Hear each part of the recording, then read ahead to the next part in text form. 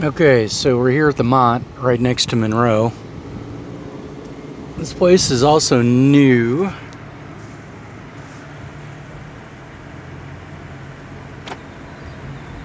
Hundred dollar garages, carports as well. I got to get the price on the carports, probably around forty-five or fifty.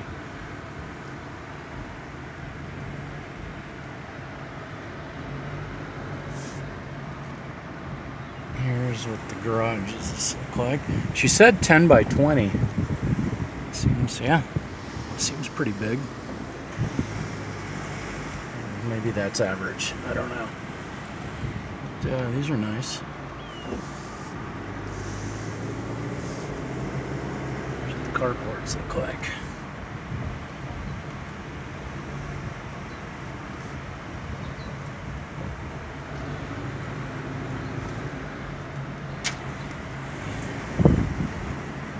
Um, she gave me the uh, story on the fees is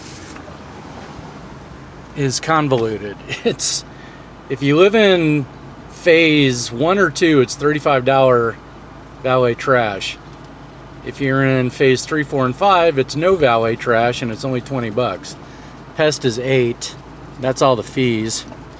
Uh, $75 app fee, 175 admin deposit rhino i have no idea what that means. It could be a third party. Some of these properties uh, have a a bond fee like 150 bucks instead of a deposit that's refundable. We can get the story. Uh, the lady that works here her name is victoria for the record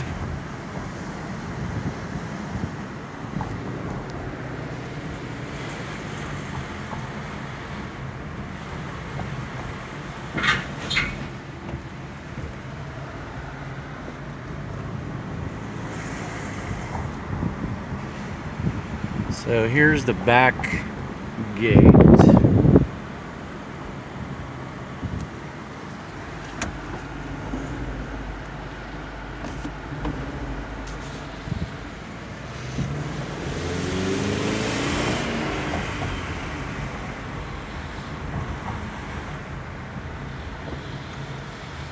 Um, I'll confirm washer dryer included theoretically.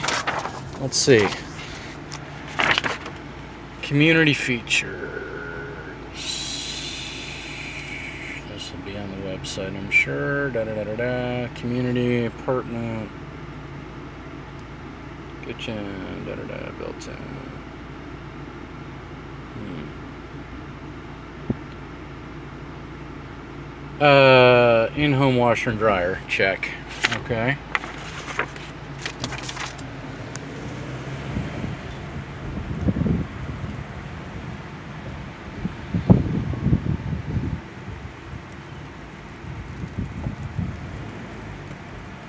So, that is a little drive around of this one. So, they're only touring the model, which is the, the B4 plan, the next size up, um, by appointment. And again, the virtual tours are on their website, so you can look at the 650 square foot there. And this is, again, right off of Montopolis, just right uh, a little bit north of uh, the Mont, which is, or Monroe, which is right there.